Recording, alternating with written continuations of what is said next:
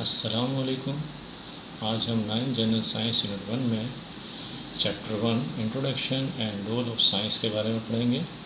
Topic आपके सामने नज़र आ रहे हैं आपको। Brief history of achievement of science इसमें जो सब टॉपिक हैं, वो भी सामने लिखे हुए हैं, जिसमें पहला टॉपिक है मैन मेड फायर दूसरा है व्हील तीसरा है ऑरस एंड मेटल चौथा है रनिंग वाटर एंड एयर पांचवा है स्टीम छठा है इलेक्ट्रिसिटी और सातवां है एटॉमिक एनर्जी अब इसकी मुख्तसर सी तफसील जो है वो आपके सामने है।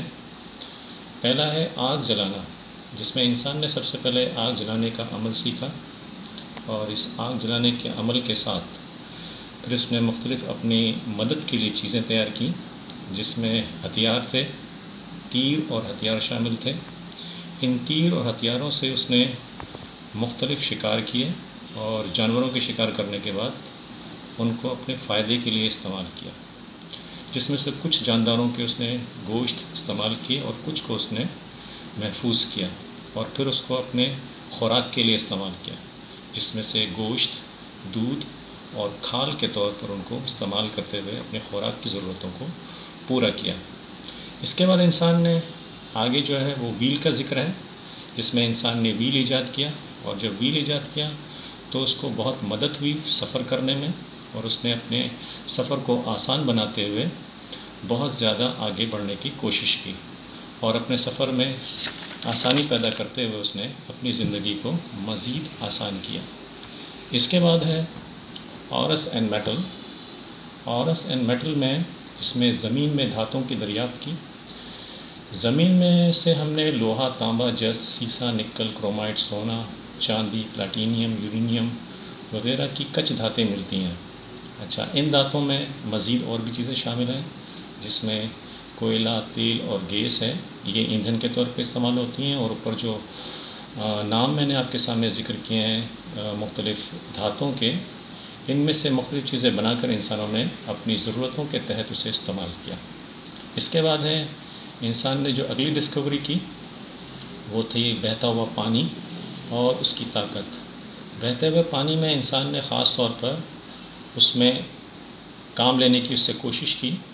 आज हम बहते हुए पानी की कुवत से बड़े बड़े टरबाइन चलाते हैं, जिसके नतीजे के तौर पर हम अपने शहरों और सनती इदारों और दीगर मशीनों के लिए बहुत बड़ी तादाद में बिजली पैदा करते हैं। और यही काम हम हवा से भी करते हैं, चलती हुई हवा से, उसकी कुवत से। और ये हवा की कुत से हम बहरी सफ़र भी करते हैं और साथ साथ अपनी ज़रूरत के लिए बिजली भी पैदा करते हैं। अगली जो डिस्कवरी है साइंस की वो है स्टीम जिसे उर्दू में भाप कहते हैं। साइंसदान जिसका नाम है हीरो उसने एक इंजन बनाया जिसे भाप का इंजन कहते हैं। इसके 1700 साल बाद एक हज़ार सात सौ साल बाद साइंसदानों ने भाप की ताकत से चलने वाला एक ऐसा इंजन बनाया, जिसे वाटर पंप चलाने के लिए काम में लाया गया। यानी भाप के इंजन जब बनाया गया तो इंसानों ने उससे मुख्तलिफ़ काम किया जिससे अपने सफ़र के लिए भी उसको इस्तेमाल किया और साथ साथ उससे दूसरे काम भी लिए। ज़ाहिर जब इंजन बन चुका था तो उसको मुख्तलिफ़ कामों के लिए इस्तेमाल करके अपने लिए आसानी पैदा की। इसके बाद अट्ठारह में। रोड वोल्फ डीजल ये एक साइंसदान है जो कि जर्मन साइंसदान है। उसने एक ऐसा इंजन ईजाद किया जो फ्यूल से या जिसे हम कहेंगे ईंधन से चलता था। आ, और उसको अंदरूनी अख्तरा की इंजन के नाम से जाना जाता था। इसमें एज ए फ्यूल पेट्रोल इस्तेमाल किया जाता है डीज़ल इस्तेमाल किया जाता है। और आज की जदीद दौर में जदीद गाड़ियों में इसकी हम इस्तेमाल वाफिर मकदार में देखते हैं।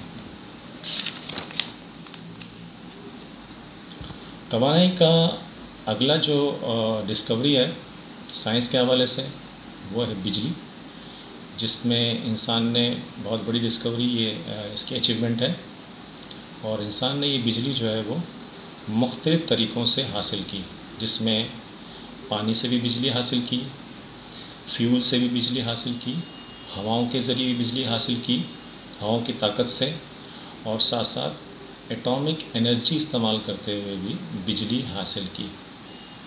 1871 में, इकतीस में एक अंग्रेज़ साइंसदान, माइकल फैराडे, ने यह दरियाफ्त किया कि किसी तार के कॉयल की मदद से मकनातीस को हरकत देने पर बरकी करंट पैदा किया जा सकता है। अच्छा इस बर्की करंट को हम मैग्नेटिक फ़ील्ड भी कहते हैं और साथ साथ इसे हम जनरेटर में भी इस्तेमाल करते हैं। जनरेटर